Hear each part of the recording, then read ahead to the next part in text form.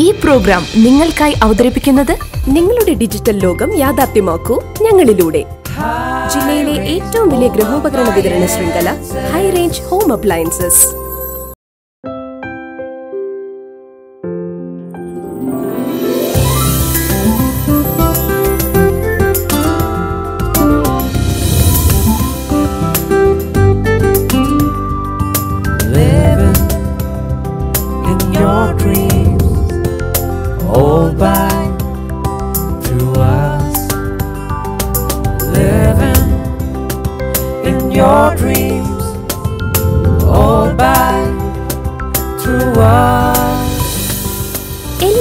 എല്ലാം നിങ്ങളുടെ ഡിജിറ്റൽ ലോകം യാഥാർത്ഥ്യമാക്കൂ ഞങ്ങളിലൂടെ.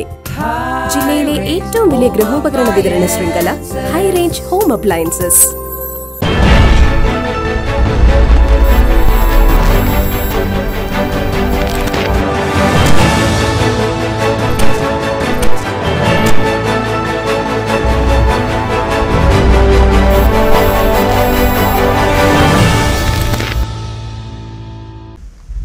മാന്യ പ്രേക്ഷകർക്ക് നമസ്കാരം.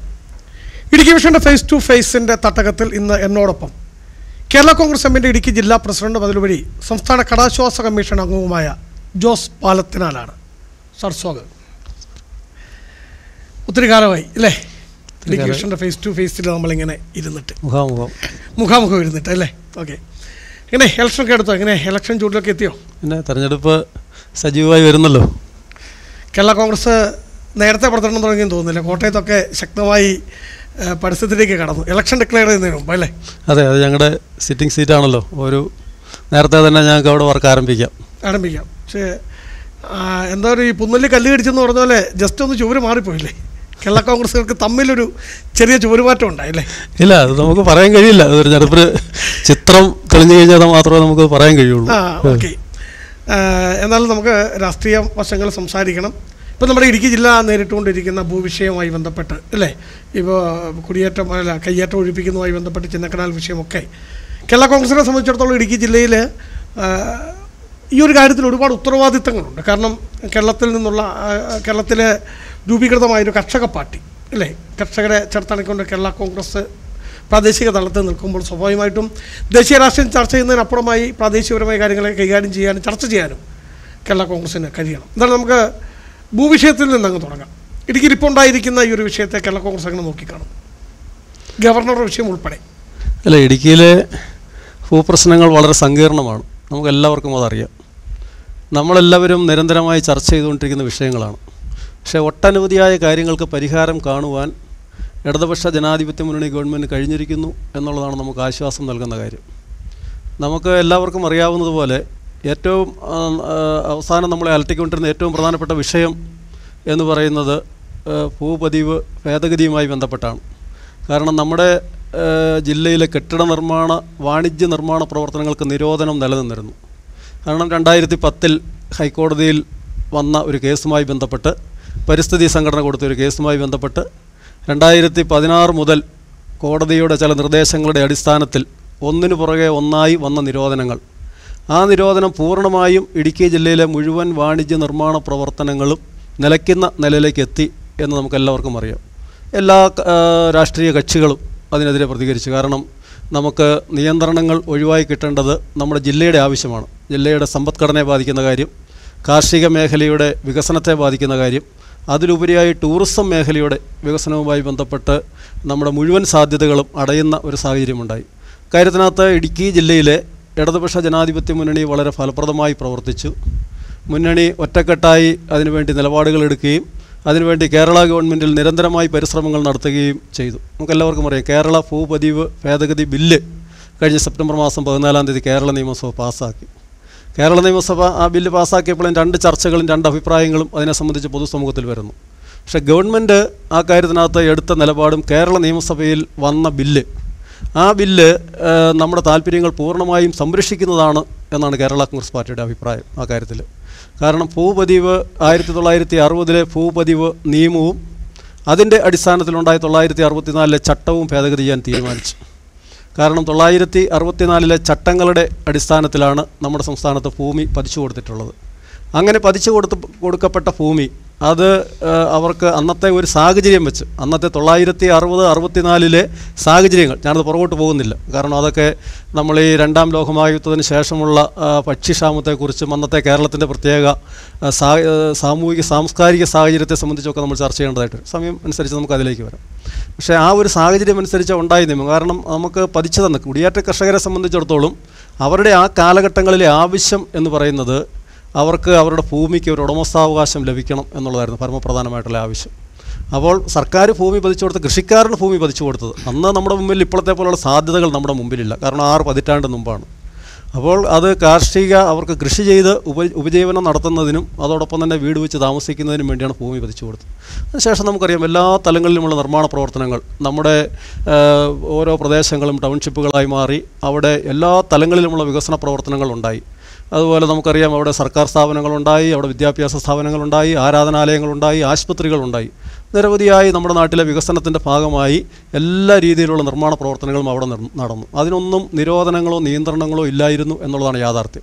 ടൂറിസവുമായി ബന്ധപ്പെട്ട മേഖലകളിൽ ടൂറിസം സാധ്യതയുള്ള മേഖലകളിൽ ആ നിലയിലുള്ള ടൂറിസവുമായി ബന്ധപ്പെട്ടുള്ള വലിയ വലിയ പ്രോജക്റ്റുകളുണ്ടായി. അത് നമ്മുടെ ഇവിടുത്തെ ഇടുക്കി ജില്ലക്കാരേക്കാൾ ഉപരിയായി ജില്ലയ്ക്ക് വെളിയിലുള്ള വലിയ വലിയ സാമ്പത്തികം പണം മുടക്കാൻ ഉള്ള നിരവധിയായ വ്യക്തികൾ വന്ന് നിരവധിയായ പ്രസ്ഥാനങ്ങൾ സ്ഥാപനങ്ങൾ വന്ന് ഇവിടെ ടൂറിസം മേഖലയിൽ മുതൽ മുടക്ക് നടത്തി.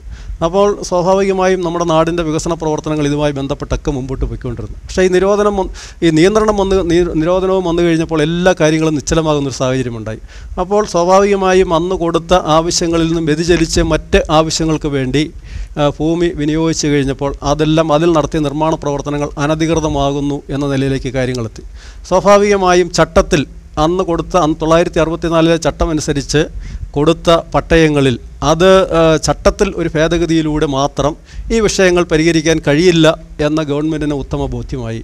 ഗവൺമെന്റിന് ബോധ്യമാകുന്നത് അഡ്വക്കേറ്റ് ജനറലുമായും നിയമവിദഗ്ധരുമായി സംസാരിച്ച്. അപ്പോൾ നിയമത്തിൽ ഗവൺമെന്റിന് അതിനുള്ള അനുവാദം കൊടുത്തുകൊണ്ട് ചട്ടത്തിൽ ഭേദഗതികൾ വരുത്തി ഈ വിഷയത്തിനൊരു ശാശ്വത പരിഹാരം കാണണം.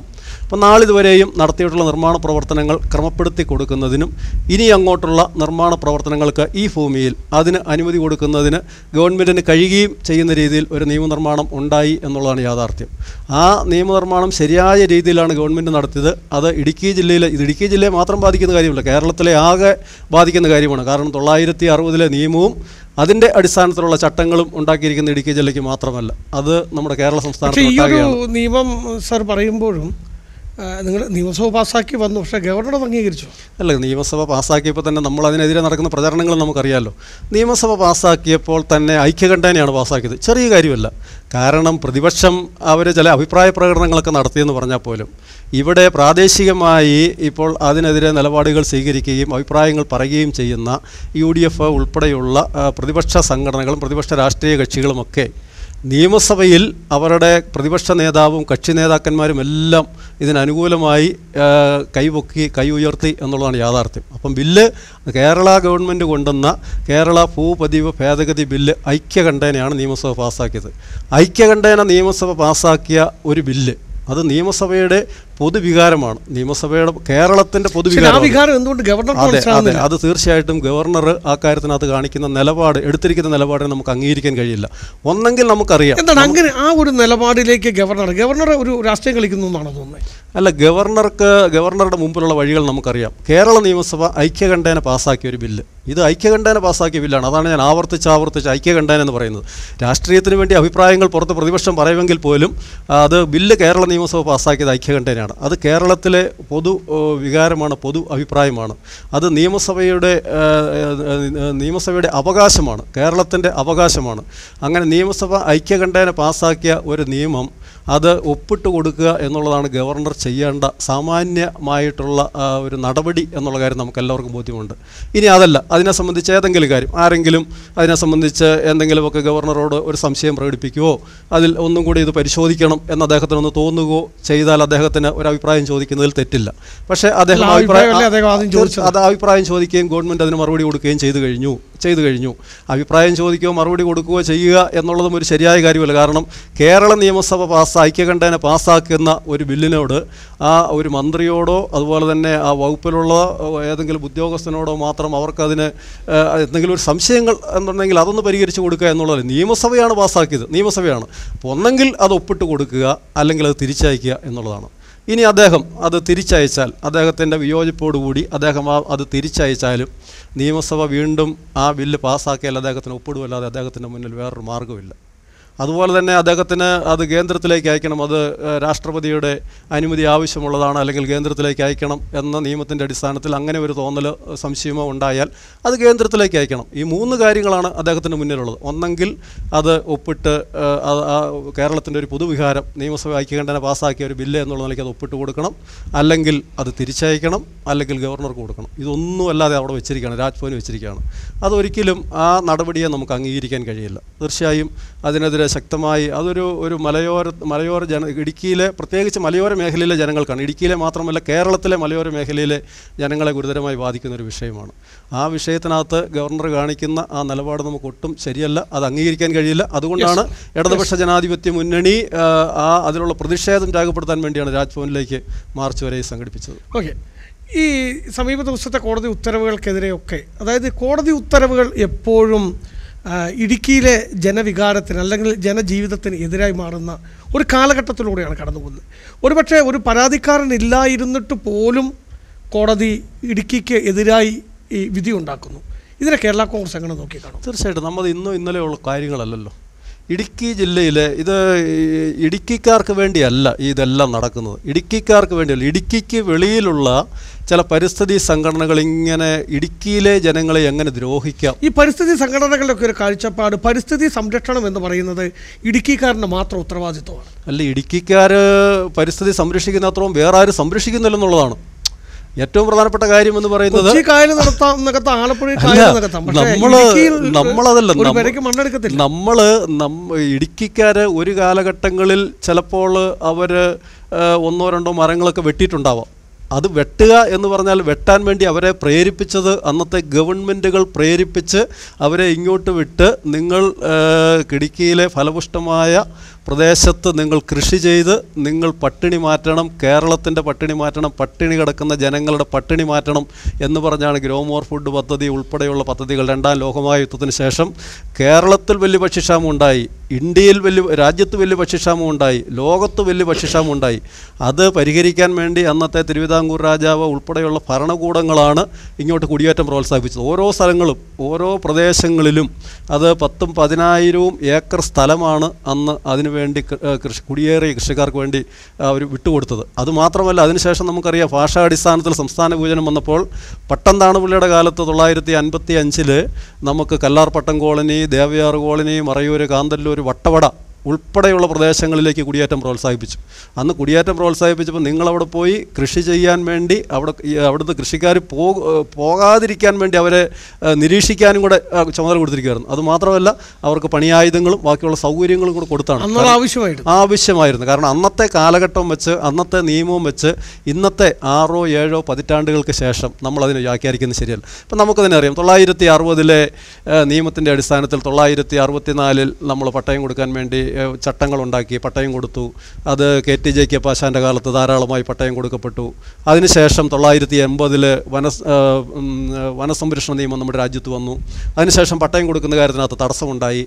തൊള്ളായിരത്തി തൊണ്ണൂറ്റി ഒന്നിലെ യു ഡി എഫ് ഗവൺമെന്റ് കാലത്ത് Shri K M Mani sir കേരളത്തിൽ റവന്യൂ മന്ത്രിയായതിനു ശേഷം സ്പെഷ്യ പ്രത്യേക ഭൂപതിവ് ചട്ടങ്ങൾ നിയമമാക്കി പട്ടയം കൊടുക്കാൻ വേണ്ടിയുള്ള നടപടികൾ സ്വീകരിച്ചു. അന്നേരം കേന്ദ്ര നിയമം വന്നതുകൊണ്ടാണ് തൊള്ളായിരത്തി എൺപതിൽ കേന്ദ്ര വനസംരക്ഷണ നിയമം വന്നതുകൊണ്ടാണ് പ്രത്യേകമായി സ്പെഷ്യൽ ലാൻഡ് അസൈൻമെന്റ് റൂൾ നമുക്കന്ന് ഉണ്ടാക്കേണ്ടി വന്നത്. അതനുസരിച്ച് അന്നും ഈ പരിസ്ഥിതി സംഘടനകൾ പോയി. അന്നും ഈ പരിസ്ഥിതി സംഘടനകൾ പോയി.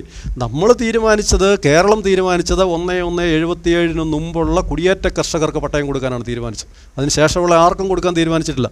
എൺപതിൽ നിയമം വന്നപ്പോഴും അത് പിന്നെയും നമ്മൾ മൂന്ന് വർഷം പുറകിലേക്ക് മുമ്പ് കുടിയേറിയത്. കുടിയേറാനുള്ള കാരണം നമ്മൾ മുമ്പ് സൂചിപ്പിച്ചു. നമ്മളിങ്ങോട്ട് നിങ്ങൾ പോയി ഇവിടെ കൃഷി ചെയ്യണം നിങ്ങളിവിടെ ഭക്ഷ്യധാന്യങ്ങൾ ഉൽപ്പാദിപ്പിക്കണം നിങ്ങളിവിടെ നെല്ലും കപ്പയും ചേമ്പും ചേനയും ഒക്കെ ഉൽപ്പാദിപ്പിച്ച് കേരളത്തിന്റെ പട്ടിണി മാറ്റിയവരാണ് നമ്മൾ. കേരളത്തിന്റെ പട്ട് പട്ടിണി മാറ്റി മാറ്റുകയും ചെയ്തു. മാറ്റുകയും ചെയ്തു. നമ്മളും നമ്മളും ഭക്ഷിച്ചു നമ്മൾ കേരളത്തിന്റെ പട്ടിണിയും മാറ്റി. നമ്മൾ തന്നെ ഭക്ഷിക്കുമല്ലായിരുന്നു പക്ഷെ ഇതൊക്കെ അറിയാമായിരുന്നു ഈ ചരിത്രമൊക്കെ രേഖകളായി തന്നെ അവശേഷിക്കുവാണ്.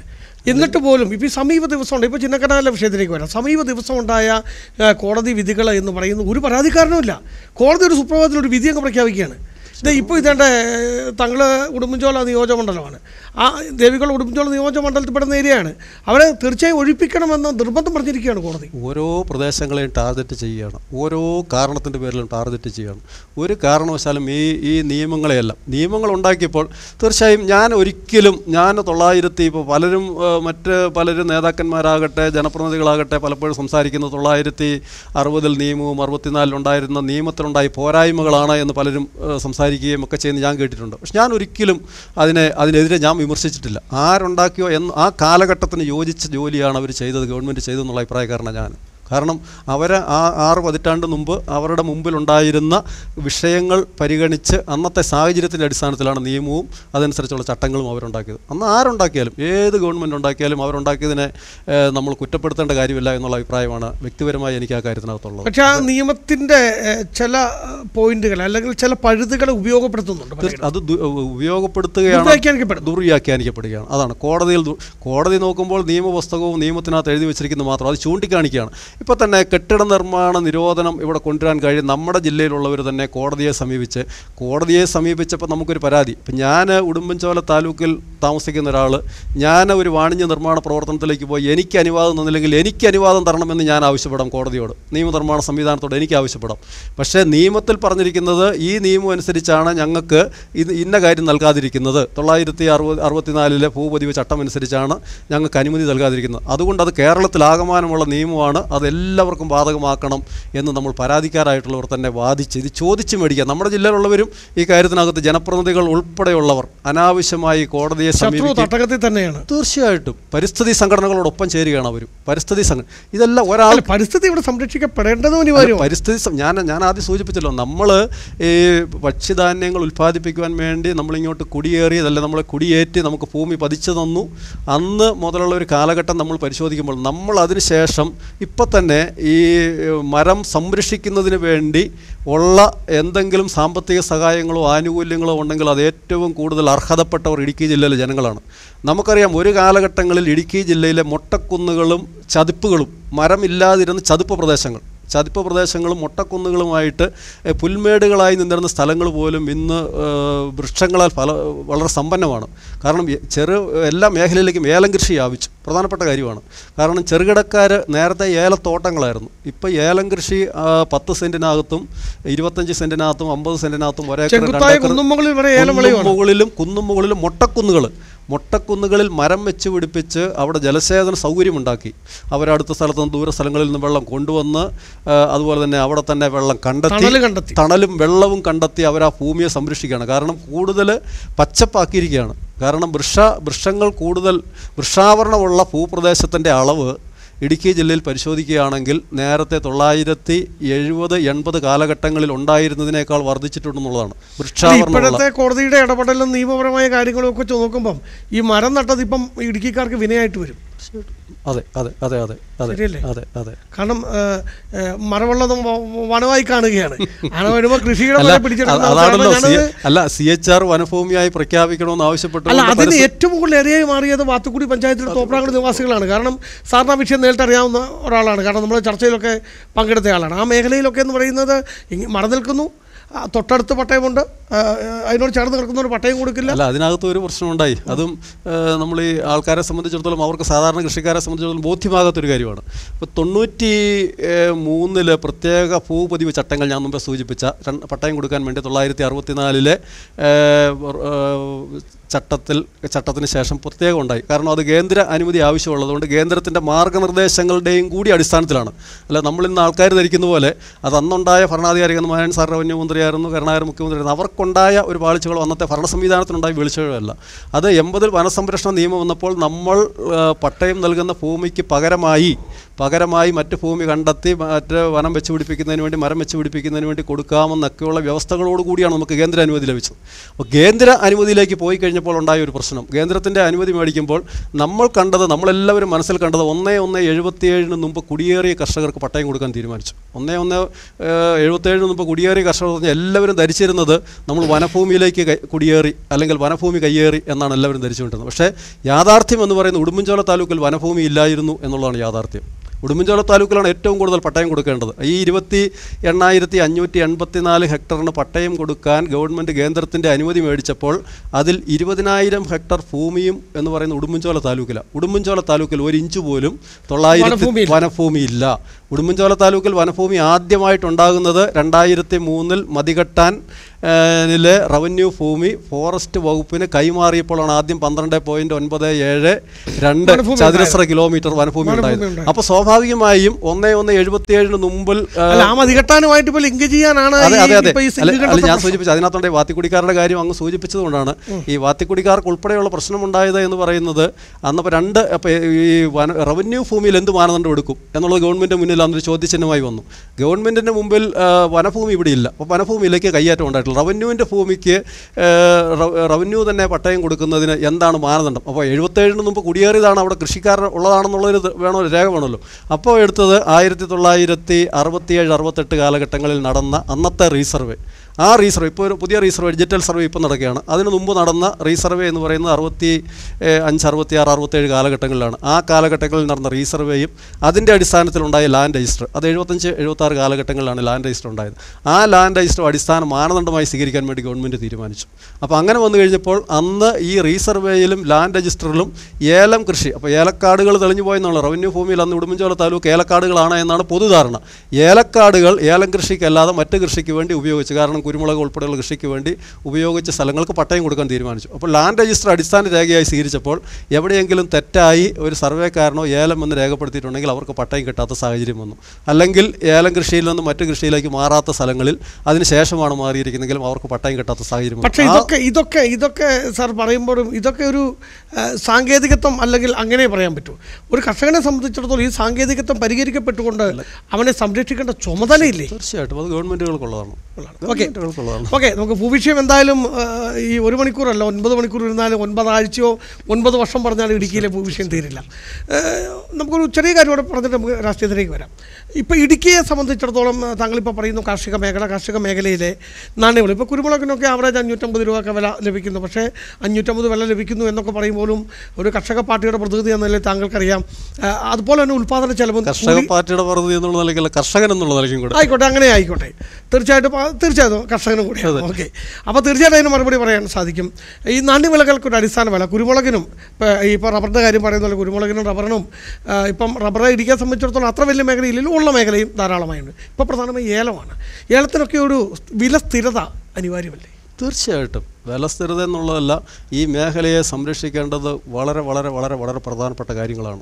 എന്ന് പറഞ്ഞാൽ കാർഷിക മേഖലയ്ക്ക് മുമ്പ് കിട്ടിയിരുന്ന യാതൊരു പരിഗണനയും ഇപ്പോൾ കിട്ടുന്നില്ലെന്നുള്ളതാണ് ഇപ്പോൾ റബ്ബർ മുതൽ റബ്ബർ മുതൽ നമ്മുടെ ഏലവും കുരുമുളകും വരെയുള്ളത്. ഇപ്പോൾ റബ്ബറിന്റെ കാര്യം. റബ്ബറിന്റെ അവസ്ഥ എന്ന് പറയുന്നത് റബ്ബർ നമ്മുടെ ജില്ലയിൽ നിന്ന് ഒഴിവാക്കി നിർത്താൻ പറ്റുന്നതല്ല. നമ്മുടെ ജില്ലയെ സംബന്ധിച്ചിടത്തോളം റബ്ബർ വളരെ പ്രധാനപ്പെട്ട ഒരു വിളയാണ്. ഈ ഉടുമ്പൻചോല താലൂക്കിൽ കുറവാണെന്ന് മാത്രമേ ഉള്ളൂ. ഉടുമ്പൻചോല താലൂക്ക് വിട്ട് കഴിഞ്ഞാൽ ഇടുക്കിയിലേക്ക് പോയാലും തൊടുപുഴയിലേക്ക് പോയാലും ഉടുമ്പൻചോലയും ദേവികുളത്തും കുറവാണെന്നാണ്. അതെ അതെ അതെ. ദേവികുളം തൊടുപുഴയെ സംബന്ധിച്ചിടത്തോളം അല്ലല്ല. അതെ അതെ. തൊടുപുഴ താലൂക്കിലേക്ക് പോയാലും ഇടുക്കി താലൂക്കിൽ നല്ല നിലയിലുണ്ട്. നല്ല. ഇടുക്കിയിലുമുണ്ട് പീരുമേട്ടിലുമുണ്ട് പീരുമേട്ടിലെ കൊക്കയാർ പെരുമന്താണ് എല്ലാം വന്നു കഴിയുമ്പോഴത്തേക്ക് അവിടെയും പൂർണമായിട്ട് പൂർണമായിട്ടും അപ്പം അതും പ്രധാനപ്പെട്ട അപ്പോൾ നമുക്ക് തന്നെ റബ്ബറിന്റെ കാര്യം തന്നെ നമുക്കറിയാം റബ്ബറിന്റെ കാര്യം റബ്ബറിന് ഇവിടെ ഉണ്ടായിരുന്ന റബ്ബർ ബോർഡ് കൊടുത്തുകൊണ്ടിരുന്ന ആനുകൂല്യങ്ങൾ അത് സംരക്ഷിക്കുവാൻ വേണ്ടി ചെയ്തിരുന്ന കാര്യങ്ങൾ മുഴുവൻ നിർത്തലാക്കി. ഈ സംവിധാനങ്ങൾ മുഴുവൻ കേരളത്തിൽ ഉള്ള റബ്ബർ കൃഷിയെ പൂർണമായും വടക്ക് കിഴക്കൻ സംസ്ഥാനങ്ങളിലേക്ക് പറിച്ചു നടാൻ വേണ്ടി കേന്ദ്ര ഗവൺമെന്റ് ശ്രമിക്കുന്നു. എന്തിനാ റബ്ബർ ബോർഡിന്റെ ഓഫീസ് പോലും ഇവിടെ നിലനിൽക്കുന്ന സംശയമാണ്. മുഴുവൻ ആനുകൂല്യങ്ങളും വെട്ടിക്കുറച്ചു റബ്ബറിന്റെ വിലയില്ല. അത് പൂർണമായും ടയർ ലോബിയെ അല്ലെങ്കിൽ വ്യവസായ ലോബിയെ സംരക്ഷിക്കാൻ വേണ്ടി ആസിയാൻ കരാർ ഉണ്ടായപ്പോൾ പോലും നമ്മൾ അനുഭവിക്കുന്ന ബുദ്ധിമുട്ടുകളാണ്.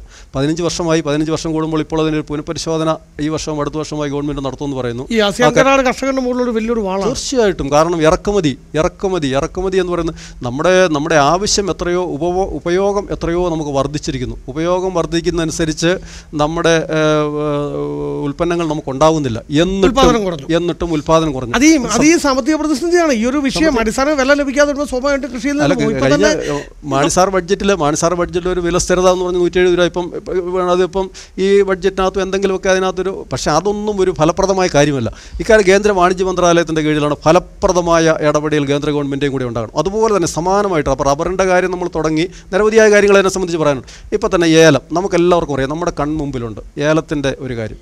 ഏലത്തിന് ഇവിടെ ഉണ്ടായിരുന്ന സ്പൈസസ് ബോർഡിന്റെ ഫീൽഡ് ഓഫീസുകളില്ല സ്പൈസസ് ബോർഡിന്റെ അസിസ്റ്റന്റ് ഡയറക്ടർ ഓഫീസ് ഇല്ല ഡെപ്യൂട്ടി ഡയറക്ടർ ഓഫീസ് ഇല്ല ഇത് മേഖലകളായി തിരിച്ച് ഈ ഓഫീസുകളെല്ലാം ഉണ്ടായിരുന്നു. പ്രത്യേക പാക്കേജുകൾ ജലസേചനത്തിനുള്ള സൗകര്യം റീപ്ലാന്റിനുള്ള സാമ്പത്തിക സഹായം എന്തിനാ അങ്ങനെയുള്ള എല്ലാ രീതിയിലുമുള്ള തേയില കൂടുതൽ ഉൽപ്പാദിപ്പിക്കുന്ന ഇടുക്കി ടീ ബോർഡില്ല ടീ ബോർഡില്ല ടീ ബോർഡ് ടീ ബോർഡില്ല ഇല്ല.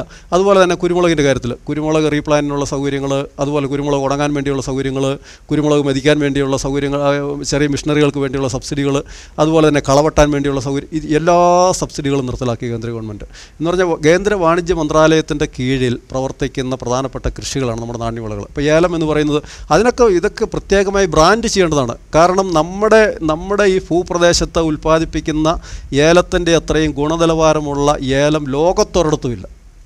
രാജ്യത്തില്ലെന്ന് മാത്രമല്ല ലോകത്തൊ ലോകത്തില്ല. ലോകത്തൊരിടത്തുമില്ല.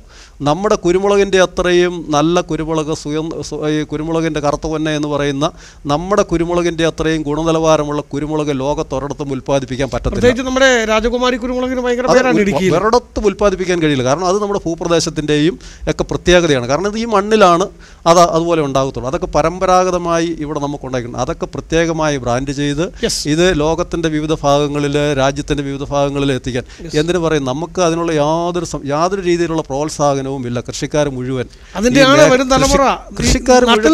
നമ്മൾ പശ്ചാത്തപിച്ചിട്ട് കൃഷിക്കാരൻ ലാഭകരമായി ഞാനും ഒരു കൃഷിക്കാരനാണ്. ഞാനും ഈ കുരുമുളക് കൃഷിയും വേലൻ കൃഷിയും കുരുമുളക് കൃഷി നമുക്കൊരു പ്രതീക്ഷയോടുകൂടി നമ്മൾ കുരുമുളക് കൃഷി ചെയ്ത് നമുക്ക് അതിനകത്ത് ആദായം എടുക്കാൻ പറ്റുന്നില്ല. അത് എന്തെങ്കിലും രോഗം വന്ന് അത് നശിച്ചു കഴിഞ്ഞാൽ നമ്മൾ ആ മുടക്കിയ പൈസ മുഴുവൻ നമുക്ക് നഷ്ടപ്പെടുകയാണ്. സ്വാഭാവികമായും ചെറുപ്പക്കാർക്ക് സംരക്ഷണവും കിട്ടും ഒരു സംരക്ഷണവും കിട്ടത്തില്ല. ഒരു സംരക്ഷണം ഇപ്പം കിട്ടുന്ന കാർഷിക മേഖലയിലെ കടക്കണിയിലേക്ക് മനുഷ്യൻ ഒരുപാട് പോകുന്നു. താങ്കളിപ്പോൾ കടാശ്വാസ കമ്മീഷന്റെ അംഗം കൂടിയാണ്. ഒരുപക്ഷെ ഇടുക്കിയിലെ ഓരോ ഇപ്പോൾ സഹകരണ മേഖലയാണ് ഏത് മേഖലയിലാണെങ്കിലും സാമ്പത്തിക ബുദ്ധിമുട്ടുകളെ കുറിച്ച് വളരെ വ്യക്തമായിട്ട് അറിയാം ഈ കടാശ്വാസൻ കമ്മീഷന്റെ ഒരു സഹായം ഇവിടെ കർഷകർക്ക് താങ്ങായി? തീർച്ചയായിട്ടും. കടാശ്വാസ കമ്മീഷന്റെ വലിയ സഹായം ഗവൺമെന്റ് വഴി കിട്ടുന്നുണ്ട്. കാരണം അതൊരു ചെറിയ കാര്യമല്ല.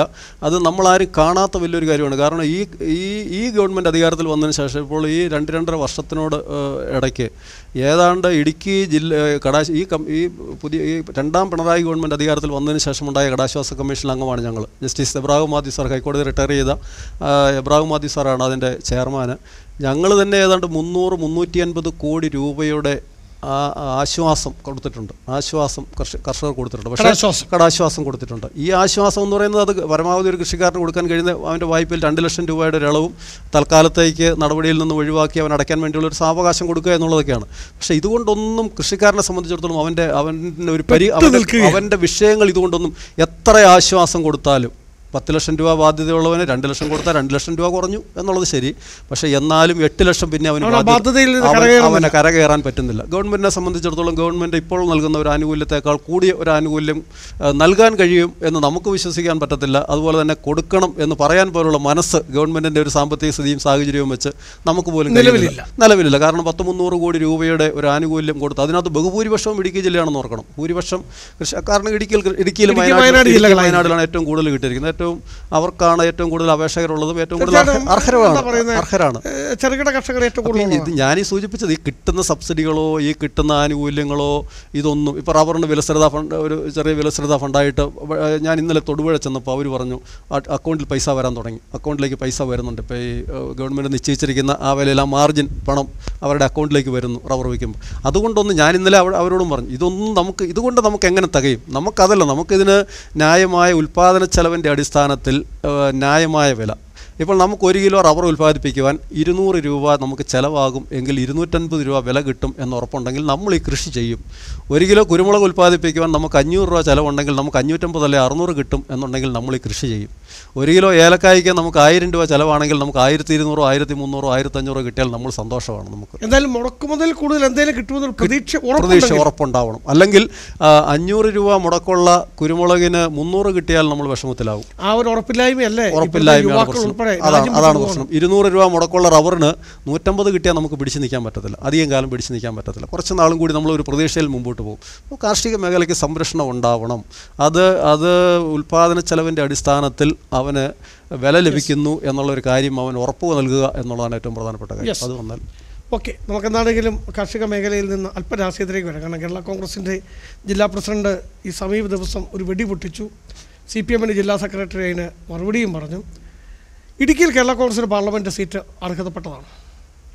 അല്ല ഇടുക്കിയിൽ പാർലമെന്റ് സീറ്റ് അർഹതപ്പെട്ടോ അതാണോ അല്ലയോ എന്നുള്ളതല്ല. നമ്മളെ സംബന്ധിച്ചിടത്തോളം കേരള കോൺഗ്രസ് ഇടതുപക്ഷ ജനാധിപത്യം മുന്നണിയുടെ അർഹതപ്പെട്ടതാണോ അല്ലയോ എന്നുള്ളതല്ല. താങ്കൾ സീറ്റ് തീർച്ചയായിട്ടും. ആവശ്യപ്പെട്ടപ്പോൾ അല്ല, അത് ഞാൻ അതിലേക്ക് ഞാൻ അതിലേക്കാണ് വരുന്നത്. തീർച്ചയായിട്ടും തീർച്ചയായിട്ടും ഞാൻ അതിലേക്കാണ് വരുന്നത്.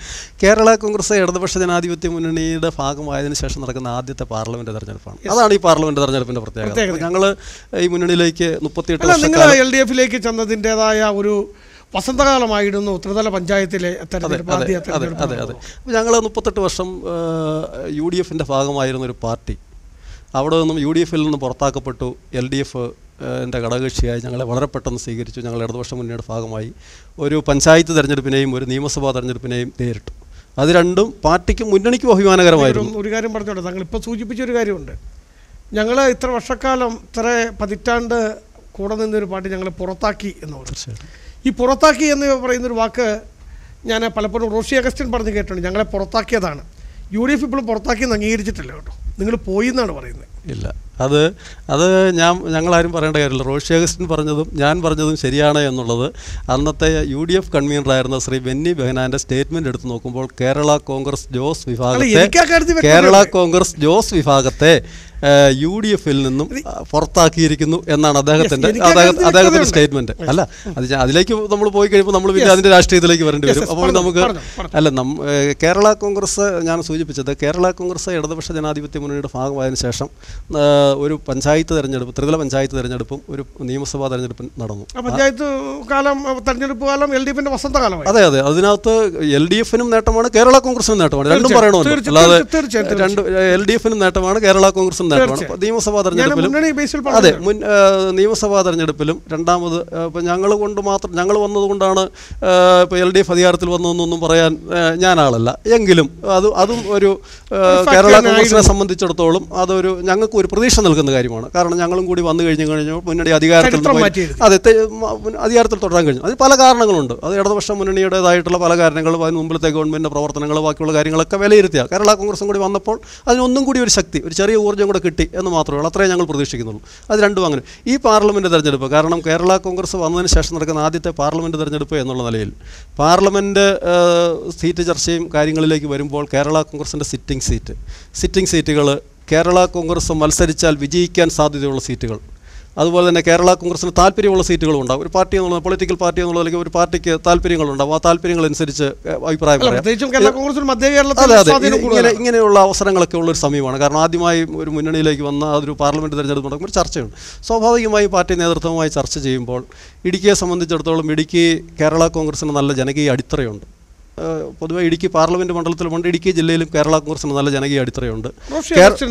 അഞ്ച് തെരഞ്ഞെടുപ്പിൽ ഇങ്ങനെ അതെ കേരള കോൺഗ്രസ് ഇടതുപക്ഷ ജനാധിപത്യം മുന്നണിയുടെ ഭാഗമായി കഴിഞ്ഞപ്പോൾ ഇടതുപക്ഷ ജനാധിപത്യ മുന്നണിയുടെ ജനകീയ അടിത്തറയിലും അതിനനുസരിച്ചുള്ള അനുസരിച്ചുള്ള ഒരു വർധന ഉണ്ടായിട്ടുണ്ട്. അപ്പോൾ കഴിഞ്ഞ പ്രാവശ്യത്തേക്കാൾ എന്തുകൊണ്ടും കേരള കോൺഗ്രസും കൂടി ഭാഗവാക്കായ ഇടതുപക്ഷ ജനാധിപത്യ മുന്നണി കൂടുതൽ കരുത്താർജിച്ചിട്ടുണ്ട്. സംശയമേ ഇല്ല. കഴിഞ്ഞ പാർലമെന്റ് തെരഞ്ഞെടുപ്പിനേക്കാൾ കൂടുതൽ കരുത്തരാണ് ഇടതുപക്ഷ ജനാധിപത്യ മുന്നണി. അപ്പോൾ കേരള ഈ തെരഞ്ഞെടുപ്പിൽ ഇടതുപക്ഷ ജനാധിപത്യ മുന്നണിക്ക് രാഷ്ട്രീയ സാഹചര്യവും അനുകൂലമാണ്. ഇടുക്കിയിലെ രാഷ്ട്രീയ സാഹചര്യങ്ങൾ അനുകൂലമാണ്. ഇടതുപക്ഷ മുന്നണിക്ക് അനുകൂലമാണ് എന്ന് വിശ്വസിക്കുന്നു എങ്ങനെ അവകാശപ്പെടാൻ പറ്റും? തീർച്ചയായിട്ടും. കാരണം ഇവിടുത്തെ ഭൂപ്രശ്നങ്ങളിൽ ഫലപ്രദമായി ഇടപെടാൻ കഴിഞ്ഞു. ഇവിടുത്തെ കാർഷിക വിഷയങ്ങൾ ഫല പരിഹരിക്കാൻ വേണ്ടിയുള്ള ആത്മാർത്ഥമായ ശ്രമങ്ങൾ നടത്തുന്ന ഒരു മുന്നണിയാണ്. ഞാൻ ചോദിക്കട്ടെ ഇപ്പോൾ തന്നെ ഇവിടെ ഇപ്പോൾ എം പി എന്ന് പറയുന്നത് യു ഡി എഫിന്റെ ആളാണ്. യു ഡി എഫിന്റെ എം പി ആണ്. യു ഡി എഫിന്റെ എം പി എന്നുള്ള നിലയ്ക്ക് നിലവിലുള്ള സിറ്റിംഗ് എം പിക്ക് ഫലപ്രദമായി ഈ പാർലമെന്റ് മണ്ഡലത്തിന്റെ കാര്യങ്ങളിൽ ഫലപ്രദമായി പ്രവർത്തിക്കുവാനോ ഇടപെടാനോ കഴിഞ്ഞിട്ടുണ്ടോ? നമ്മൾ മുമ്പേ സൂചിപ്പിച്ചു. നമ്മളിപ്പോൾ ചർച്ച ചെയ്തപ്പോൾ നമ്മുടെ കാർഷിക ജില്ലയാണ് ഇടുക്കി. കാർഷിക മേഖലയിലെ പ്രശ്നങ്ങളാണ് ജില്ലയിലെ ജനങ്ങളെ ഏറ്റവും അധികം ബാധിക്കുന്നത് എന്ന് നമ്മൾ ചർച്ച ചെയ്തു. ഈ വിഷയങ്ങളിൽ എന്ത് ഫലപ്രദമായ ഇടപെടൽ? സത്യസന്ധമായി നമ്മൾ ചിന്തിച്ചാൽ എന്ത് ഫലപ്രദമായ ഇടപെടൽ? ഇപ്പോൾ ഒരു എം പി നോക്കിയാൽ ഈ വിഷയത്തിനെല്ലാം പരിഹാരമുണ്ടാകും എന്ന് ഞാൻ വിശ്വസിക്കുന്നില്ല. അങ്ങനെ വിശ്വസിക്കാനും കൊള്ളാം കൊള്ളത്തില്ല ഭരണമില്ല. ഇല്ല പറഞ്ഞില്ല നമുക്ക് അങ്ങനെ വിശ്വസിക്കും പക്ഷേ ഫലപ്രദമായി ഇടപെടാൻ കഴിയും. ഇടപെടാൻ കഴിയും. ഒരു ജനപ്രതിനിധി എന്നുള്ള എനിക്ക് ഇടപെടാൻ കഴിയും.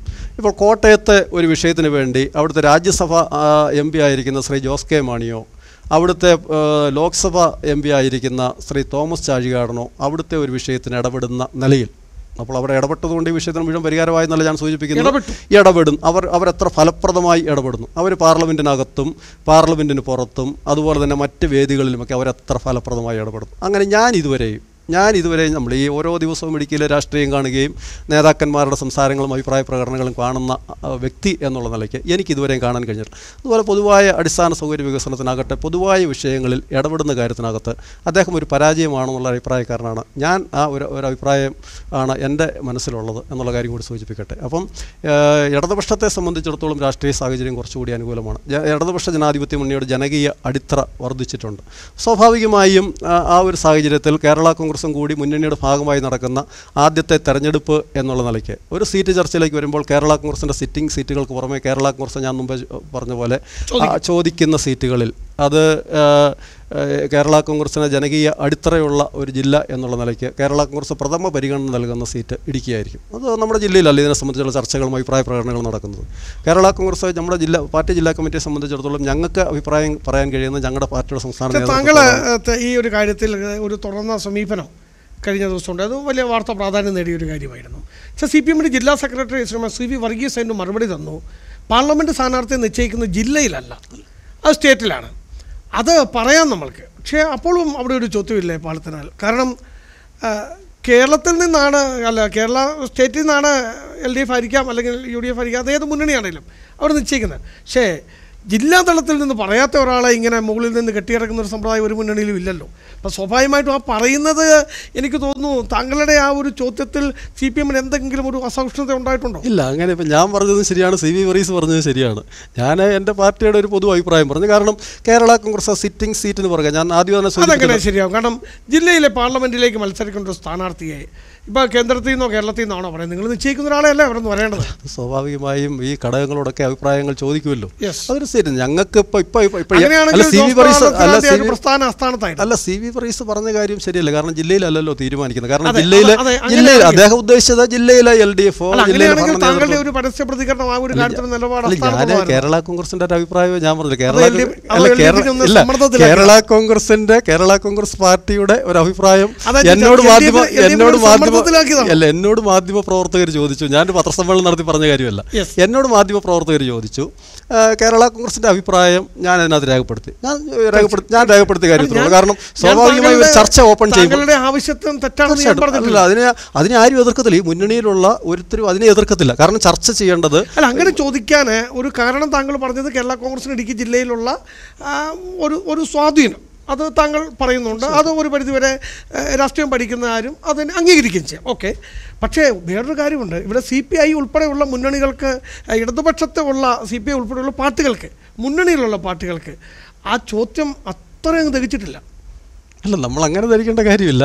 ഞാനതിനകത്ത് പറഞ്ഞ രണ്ട് കാര്യങ്ങളേ ഉള്ളൂ. ഒന്ന് ഇതിനെ സംബന്ധിച്ച് സംസ്ഥാന തലത്തിൽ ചർച്ച ചെയ്യുമ്പോൾ കേരള കോൺഗ്രസ് പ്രഥമ പരിഗണന നൽകുന്നത് ഇടുക്കി ജില്ലയ്ക്കായിരിക്കും. അതുപോലെ തന്നെ പത്തനംതിട്ടയും ഞങ്ങൾ പരിഗണന കൊടുക്കാൻ സാധ്യതയുള്ള ഒരു സ്ഥലമാണ്. അത് ഞാനല്ലല്ലോ പത്തനംതിട്ടയുടെ കാര്യം. ഞാൻ എനിക്ക് ഇടുക്കിയുടെ പാർട്ടി ജില്ലാ പ്രസിഡന്റ് എന്നുള്ള നിലയ്ക്ക് എനിക്ക് ഇടുക്കിയുടെ ഒരു അഭിപ്രായം പറയാനേ കഴിയുള്ളൂ അപ്പോൾ സ്വാഭാവികമായും പ്രഥമ പരിഗണന നൽകുന്നത് ഇടുക്കിക്കായിരിക്കണം എന്നുള്ള ആ ഒരു ആവശ്യമാണ് ഞങ്ങൾ ഞങ്ങളുടെ നേതൃത്വത്തോട് ഞങ്ങൾക്ക് പറയാനുള്ളത്.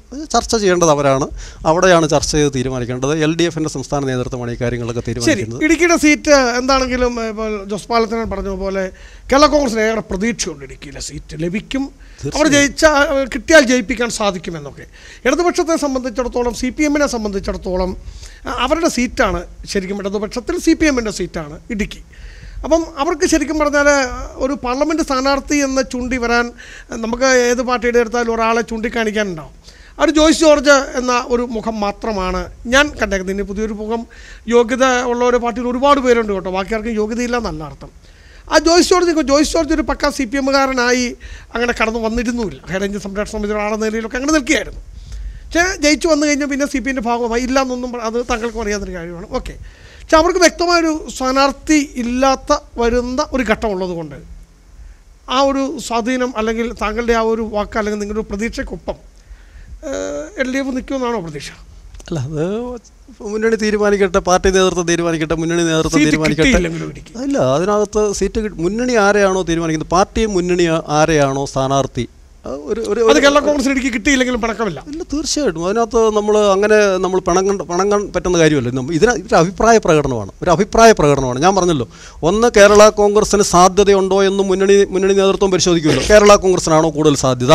കേരള കോൺഗ്രസിനേക്കാൾ കേരള കോൺഗ്രസിന്റെ ഒരു സ്ഥാനാർത്ഥി വരുന്നതിനേക്കാൾ നല്ലത് മറ്റൊരു സ്ഥാനാർത്ഥി വരികയാണെന്നുള്ള സ്വാഭാവികമായി മുന്നണി നേതൃത്വം ഈ കാര്യങ്ങളൊക്കെ പരിഗണിക്കുകയും ചർച്ച എടുക്കുകയും ചെയ്യുന്നതാണ് പിന്നെ കേരള കോൺഗ്രസിന് ഒരു താല്പര്യം പറയുന്നതിനകത്തും തെറ്റൊന്നുമില്ല. ഒരു ചർച്ചയിൽ തീർച്ചയായിട്ടും അതാണല്ലോ രാഷ്ട്രീയ പാർട്ടിയുടെ ഘടകകക്ഷി എന്നുള്ള നിലയ്ക്ക് അതിന് പറയാനുള്ള ഒരു സ്വാതന്ത്ര്യവും അഭിപ്രായം നമുക്ക് രേഖപ്പെടുത്താം കേരള കോൺഗ്രസിന് ഇടുക്കി സീറ്റ് കിട്ടിയാൽ ആരായിരിക്കും സ്ഥാനാർത്ഥി? ഇല്ല അത് അതെല്ലാം പാർട്ടി പാർട്ടി നേതൃത്വം.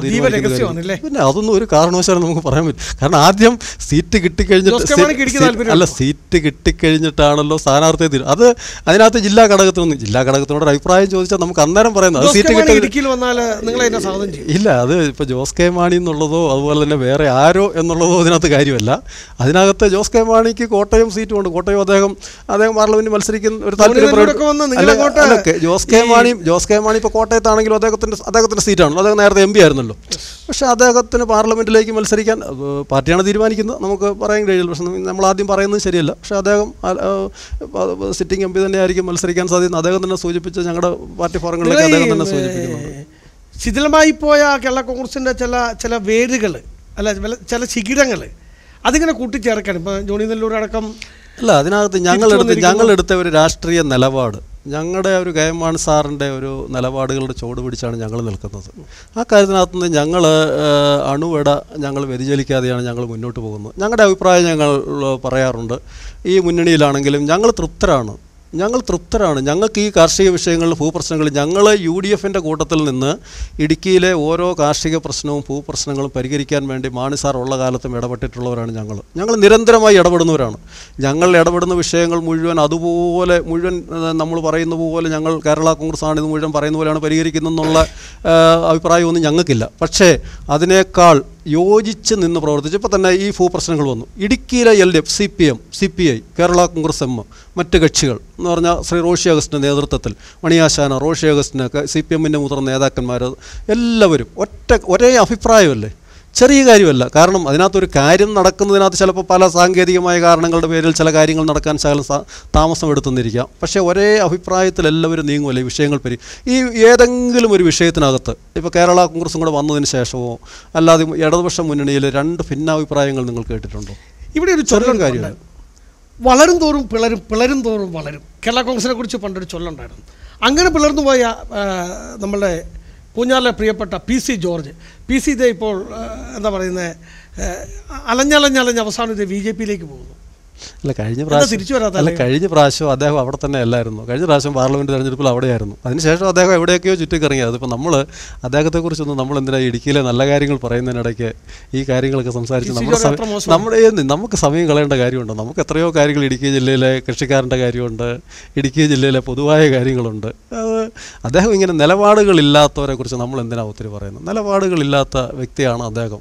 അത് ഇന്ന് പറയുന്ന അഭിപ്രായം നാളെ അഭിപ്രായമാണോ നമുക്ക് പറയാൻ കഴിയില്ലല്ലോ. ഓരോ ദിവസവും അഭിപ്രായങ്ങൾ മാറിക്കൊണ്ടിരിക്കും ഞാൻ അദ്ദേഹത്തെ മോശമായിട്ടോ അദ്ദേഹത്തിന്റെ നേതൃത്വത്തെ ഒന്നും ഞാൻ ചോദിച്ച ജോണി ഉൾപ്പെടെ തിരിച്ചു വന്നു. അപ്പോൾ പി സി ജോർജ് നേരെ പഴയ തട്ടകത്തിലേക്ക് അല്ല മുൻപുണ്ടായിരുന്ന രീതിയിലേക്ക് തിരിച്ചു വന്നു. തിരിച്ചു വന്നില്ല കുടുംബത്തേക്ക് വന്നില്ല എന്ന് ഉദ്ദേശിച്ചു. ഓക്കെ എന്നാൽ യു ഡി എഫിലെ നേതാക്കൾ ഒക്കെ സീനിയർ നേതാക്കളൊക്കെ പലവരും പലവരും ആവശ്യപ്പെടുന്നുണ്ട്. കേരള കോൺഗ്രസ് തിരിച്ചു വരണം തിരിച്ചു വരണം തിരിച്ചു വരണം. നിങ്ങളുടെ സംസ്ഥാന കമ്മിറ്റി അങ്ങനെ വല്ല ചർച്ചയിലും വന്നു. ഒരു പാർട്ടി ചെയർമാൻ തന്നെ വ്യക്തമാക്കിയിട്ടുണ്ടല്ലോ. ഞാനല്ലത് പറയേണ്ടത്. Party chairman വ്യക്തമാക്കിയിട്ടുണ്ടല്ലോ. പാർട്ടി എടുക്കുന്ന നിലപാടുകൾ ഞങ്ങൾ ഞാൻ പറഞ്ഞല്ലോ ഞാൻ പറഞ്ഞല്ലോ ഞങ്ങളെ ഐക്യ ജനാധിപത്യ മുന്നണിയിൽ നിന്നും പുറത്താക്കിയതാണ്. ഞങ്ങൾ ഐക്യ ജനാധിപത്യ മുന്നണിയിൽ നിന്ന് പോരാ ഐക്യ ജനാധിപത്യ മുന്നണി അന്നെടുത്ത നിലപാട് തിരുത്തിയാൽ ഇല്ല. ആ നിലപാട് തിരുത്തിയാൽ എന്ന് പറയാൻ കഴിയില്ല. നിലപാട് എടുത്തപ്പോൾ തന്നെ അവർ ആലോചിക്കേണ്ട കാര്യമാണ്. നമുക്ക് എന്നും രാഷ്ട്രീയ നിലപാടുകൾ നമ്മൾ ഒരിക്കൽ എല്ലാ കാലഘട്ടങ്ങളിലും രാഷ്ട്രീയമായി വിശ്വാസ്യത പുലർത്തിയിട്ടുള്ള രാഷ്ട്രീയമായി വിശ്വാസ്യത ഏഹ്, ഏഹ്, പുലർത്തിയിട്ടുള്ള രാഷ്ട്രീയ പ്രസ്ഥാനമാണ് കേരള കോൺഗ്രസ്. പാർട്ടിയുടെ നിലപാട് പാർട്ടി ചെയർമാൻ ഈ പാർലമെന്റ് തെരഞ്ഞെടുപ്പിലെ കേരള കോൺഗ്രസിന് അതേ നിലപാടായിരിക്കും. അടുത്ത നിയമസഭാ തെരഞ്ഞെടുപ്പ് വരുമ്പോഴും. തീർച്ചയായിട്ടും. അതിനാണ് സംശയിക്കുന്നത് തീർച്ചയായിട്ടും. ഒന്ന് ചേരുമ്പോൾ തീർച്ചയായിട്ടും. ഏ? തീർച്ചയായിട്ടും. ഞങ്ങൾ ഇടതുപക്ഷ ജനാധിപത്യ മുന്നണിയിൽ ഞാൻ പറഞ്ഞല്ലോ. ഇടതുപക്ഷ ജനാധി ഞാനിപ്പോൾ ഇവിടുത്തെ ഉദാഹരണം പറഞ്ഞു. ഞാൻ സംസ്ഥാനത്തെ ഉദാഹരണം പറയാൻ ഞാൻ ആളല്ല. എന്റെ മുന്നിലുള്ളത് ഇടുക്കി ജില്ലയിലെ അനുഭവങ്ങളാണ്. ഞാൻ പറഞ്ഞല്ലോ ഇവിടുത്തെ എല്ലാ കാര്യങ്ങളിലും ഇവിടുത്തെ എല്ലാ കാര്യങ്ങളിലും ജനങ്ങളെ ബാധിക്കുന്ന പൊതുവായ വിഷയങ്ങളിൽ ഒന്നിച്ച് മുമ്പോട്ട് പോകാൻ കഴിയുന്നുണ്ട്. ഒരു ചെറിയ കാര്യമല്ല അത്. ഒന്നിച്ച് മുന്നോട്ട് പോകാനും അതിന്റെ ഒരു പ്രയോജനം ഇടുക്കി ജില്ലയ്ക്ക് ലഭിക്കുന്നുണ്ട് എന്ന് നമ്മൾ വിശ്വസിക്കുന്നു. ഏത് വിഷയങ്ങൾ വന്നാലും എന്താണെങ്കിലും ഇടതുപക്ഷ. ജനാധിപത്യ മുന്നണി കേരള കോൺഗ്രസിനെ കരുതലും കൈത്താങ്ങോടും കൂടി നിർത്തുന്നുണ്ടായെങ്കിൽ ഇടുക്കി സീറ്റ് കിട്ടുമെന്നാണ് പ്രതീക്ഷ. ആണോ? തീർച്ചയായിട്ടും. അപ്പം നമുക്ക് എന്താണെങ്കിലും നമ്മുടെ സമയം അവസാനിക്കുന്നു. കേരള കോൺഗ്രസിന്റെ ഇടുക്കി ജില്ലയുടെ പ്രസിഡന്റിന്റെ അതാ കടാശ്വാസ കമ്മീഷന്റെ പ്രിയപ്പെട്ട അംഗം ജോസ് പാലത്തിനാണ്. ഇടുക്കി വിഷന്റെ പ്രേക്ഷകരോട് ഈ അഭിമുഖത്തിന്റെ അവസാനം എന്താണ് പറയാനുള്ളത്? എനിക്ക് ഇടുക്കി ജില്ലയിലെ കൃഷിക്കാരെ സംബന്ധിച്ചിടത്തോളം കൃഷിക്കാർക്ക് കൂടുതൽ അഭിവൃദ്ധി ഉണ്ടാവണം. എന്നുള്ളതാണ് ഏറ്റവും പ്രധാനപ്പെട്ട കാര്യം. ആ കാര്യത്തിനകത്ത് ഫലപ്രദമായ ഇടപെടലുകൾ കേന്ദ്ര ഗവൺമെന്റിന്റെയും കൂടെ ഭാഗത്തു നിന്നും ഫലപ്രദമായ ഇടപെടലുകളുണ്ടായി. നമുക്ക് ജില്ലയുടെ ഈ ഒരു പിന്നോക്കാവസ്ഥ കാർഷിക മേഖലയിലെ പിന്നോക്കാവസ്ഥ പരിഹരിക്കുവാൻ വേണ്ടിയുള്ള ഒരു ഒരു ഒരു നടപടി ഉണ്ടാവണം. അത് അങ്ങനെയാണെങ്കിൽ മാത്രമേ ജനങ്ങൾക്കിവിടെ സന്തോഷത്തോടും സംതൃപ്തരായിട്ടും ജീവിക്കുവാൻ കഴിയത്തുള്ളൂ. കേരള കോൺഗ്രസ് എമ്മിന്റെ ഇടുക്കി ജില്ലാ പ്രസിഡന്റ് സംസ്ഥാന കടാ കടാശ്വാസ കമ്മീഷൻ അംഗം ജോസ് പാലത്തിനാലാണ് ഇടുക്കി വിഷന്റെ ഫേസ് ടു ഫേസിന്റെ ഈ തട്ടകത്തിൽ ഈ നേരം അത്രയും സംവദിച്ചത്. വ്യക്തമായ രാഷ്ട്രീയ കാഴ്ചപ്പാടുകളോടുകൂടി ഇടതുപക്ഷ ജനാധിപത്യ മുന്നണിയിൽ പൂർണ സംതൃപ്തരായി നിന്നുകൊണ്ട് പാർലമെന്റ് തെരഞ്ഞെടുപ്പിലേക്ക് ഒരുക്കങ്ങൾ പൂർത്തിയാക്കി കടന്നു വരികയാണ്. ഇടുക്കി സീറ്റ് തങ്ങൾക്ക് അവകാശപ്പെട്ടതാണ് അല്ലെങ്കിൽ അർഹതപ്പെട്ടതാണ്. മുന്നണി എടുക്കുന്ന ഏത് തീരുമാനത്തോടും യോജിച്ച് മുന്നോട്ട് പോകും. ഇങ്ങനെ വ്യക്തമായ രാഷ്ട്രീയ കാഴ്ചപ്പാടുകളാണ് ജോസ് പാലത്തിനാൽ പങ്കുവച്ചത്. എന്താണെങ്കിലും ഈ ചർച്ച ഇവിടെ അവസാനിക്കുകയാണ്. മറ്റൊരു മാന്യ വ്യക്തിയുമായി വീണ്ടും കാണുമ്പോഴേയും നന്ദി നമസ്കാരം ശുഭരാത്രി.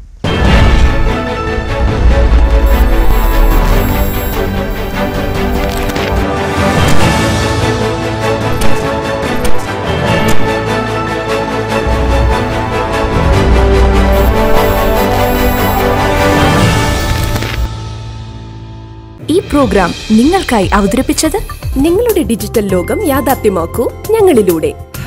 ജില്ലയിലെ ഏറ്റവും വലിയ ഗൃഹോപകരണ വിതരണ ശൃംഖല high range home appliances home അപ്ലയൻസുകൾക്കും digital ഗാഡ്ജറ്റ്സുകൾക്കും പുറമെ അമ്പത്തിരണ്ടായിരത്തിലധികം എസൻഷ്യൽ പ്രോഡക്റ്റുകൾ ഉൾപ്പെടുത്തി ഏറ്റവും വലിയ ഷോപ്പിംഗ് എക്സ്പീരിയൻസിനെ ഹൈ റേഞ്ച് ഹൈപ്പർമാർട്ട് ഷോറൂമിലൂടെ ഏറ്റവും വലിയ കളക്ഷനുകളും മറ്റാർക്കും നൽകാനാവാത്ത ഓഫറുകളും ഉൾപ്പെടുത്തി farm fresh vegetables fruits meats grocery crockery gift items kitchen അപ്ലയൻസുകൾ beauty പ്രോഡക്റ്റുകൾ ഇന്ത്യയിലുടനീളമുള്ള എല്ലാ ബ്രാൻഡുകളുടെയും ഹോം അപ്ലയൻസുകൾ മൊബൈൽ ഫോണുകൾ ലാപ്ടോപ്പ് എന്നിങ്ങനെ എല്ലാം ഒരിടത്ത് ഒന്നിക്കുന്നു. മാർക്കറ്റ് വിലയേക്കാൾ കുറഞ്ഞ വിലയിൽ. ഇനി പലയിടത്തല്ല എല്ലാം ഒരിടത്ത്. High range hypermart Kattappana Cheruthoni Anakkara Elappara.